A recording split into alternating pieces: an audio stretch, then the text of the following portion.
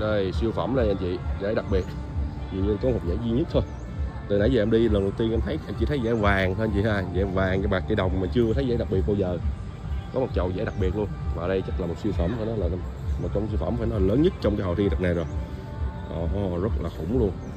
Rất là đẹp.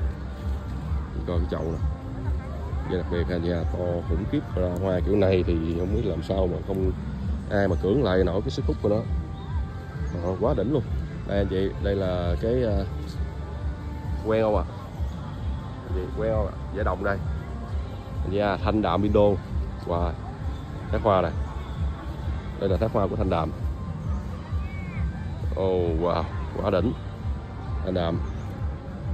Đây rất nhiều những dòng khác. Rất nhiều rất nhiều những dòng hoa khác rất là khủng trong cái hạng mục này. Đây, chị ha đây là kim điểm mắt đỏ. Dòng này thì chỗ này thì không có giải rồi à, đồng đây. Dạ đồng. Quá khủng luôn. Cái, cái khu vực này nó là toàn là siêu phẩm không? Dạ đồng đây. Một phiên bản mini của cái trà cô giải đặc biệt nãy anh chị. Nhưng mà nó nhỏ hơn à, lúc nãy to hơn chậu nãy to bên kia thì chị thấy nó to hơn chậu này nó nhỏ hơn tí nhưng mà cũng rất khủng rồi.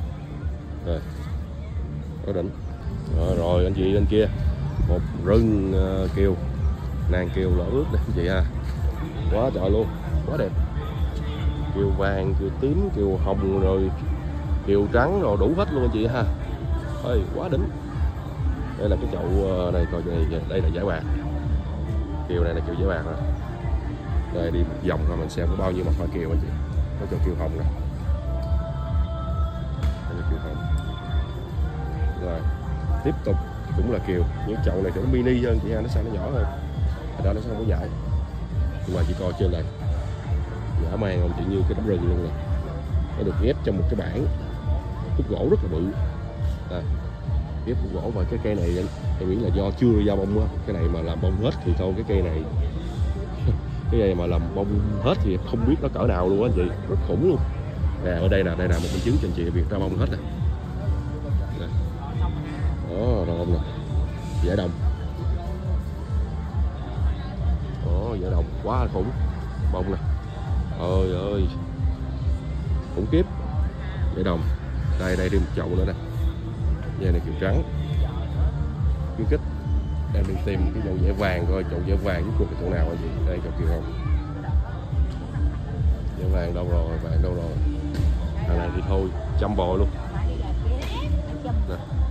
Ôi, quá trời luôn cái này mà nở hết thì không biết như thế nào luôn á. Nở hết chắc. Chắc xỉu luôn. Đây là dẻ đồng luôn cái đồng luôn nha, chị ha quá khủng này này, này. siêu phẩm ở đây này.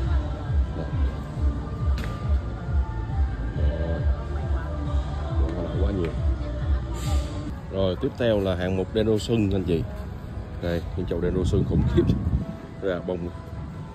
Đây là cái chậu giải khuyến khích mà anh chị xem ra kia. Tích kỳ khiếp không? Cái thân cùi không nè không một cái lá nào cũng ra bồi khủng khiếp. Đây là chậu đen xuân.